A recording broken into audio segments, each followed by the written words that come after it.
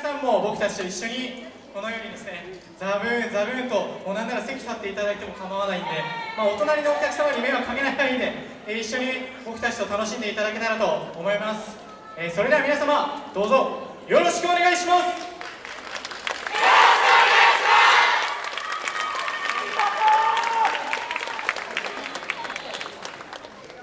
さあ巻き起こせ。祭りに逃げます。大きな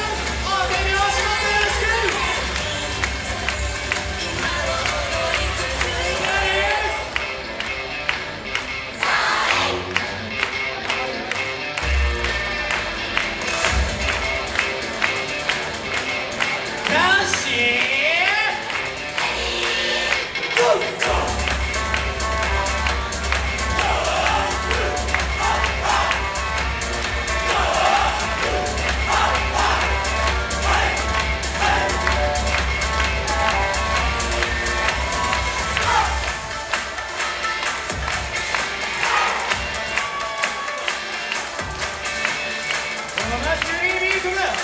心を愛